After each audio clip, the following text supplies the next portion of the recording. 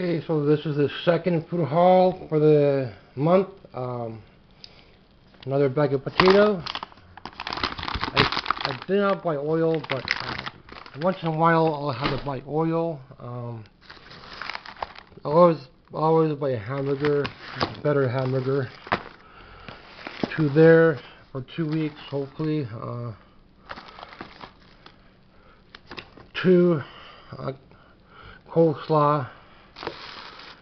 Don't know if two is going to be enough for the month, but um, might have to. I'll have to check on that. See if two is enough for the month, or if one is enough for one week. I don't know yet. Um, coleslaw, but